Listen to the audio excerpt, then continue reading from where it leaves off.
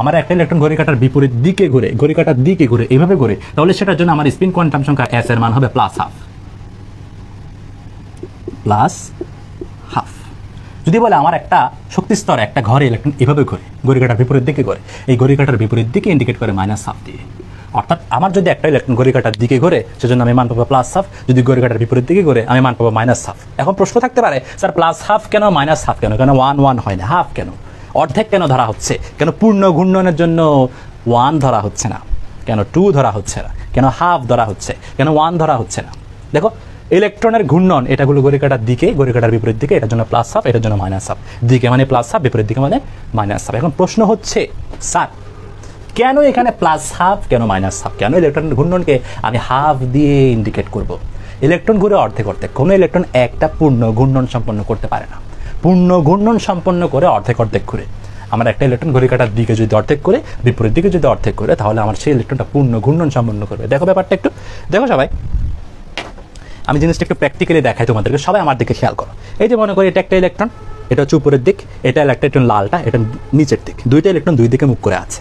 একটা উপরের দিকে, একটা নিচের দিকে। আমি যদি একটা পূর্ণ ঘূর্ণন সম্পন্ন করে, দেখো, নীলটা নিচে, লালটা উপরে, মুখ। আমি যদি একটা পূর্ণ ঘূর্ণন সম্পন্ন করাতে চাই, মনে করো আমার দুইটা ইলেকট্রন দুই দিকে মুখ করে আছে, আমি একটা পূর্ণ ঘূর্ণন সম্পন্ন করালাম। পূর্ণ ঘূর্ণন সম্পন্ন করালে বিপরীত হয়ে যায়। নীলটা নিচে, লালটা উপরে। আমাদের টার্গেটকে একটা পূর্ণ স্পন্দন সম্পন্ন করানো। দেখো, এই পূর্ণ স্পন্দন, আমি আগের অবস্থায় নিয়ে গেলাম। পূর্ণ স্পন্দন সম্পন্ন করানোর উদ্দেশ্যে আমি একটা ইলেকট্রন ঘড়ি কাটার দিকে ঘুরালাম অর্ধেক। ঘড়ি কাটার দিকে ঘুরালাম অর্ধেক। বিপরীত দিকে ঘুরালাম অর্ধেক। দুইটাই অর্ধেক অর্ধেক ঘুরালাম, কিন্তু তারা এমনভাবে ঘুরবে যেন তারা একটা পূর্ণ স্পন্দন সম্পন্ন করে। দেখো আগের অবস্থায়, আগে এরকম ছিল। আমি একটা পূর্ণ স্পন্দন সম্পন্ন করলে বিপরীত।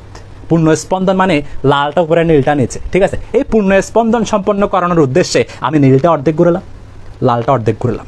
দুইটা ইলেকট্রন দুই দিকে অর্ধেক অর্ধেক ঘোরানোর পরেও আমরা দেখতেছি এমনভাবে তারা আছে যেন তার একটা পূর্ণ স্পন্দন সম্পন্ন করতেছে। তাহলে আমি যদি হাফ ঘুরাই, দুইটাই হাফ হাফ ঘুরাই, আমি আগের অবস্থানে ফিরে যেতে পারি, একটা পূর্ণ স্পন্দনে ফিরে যেতে পারি।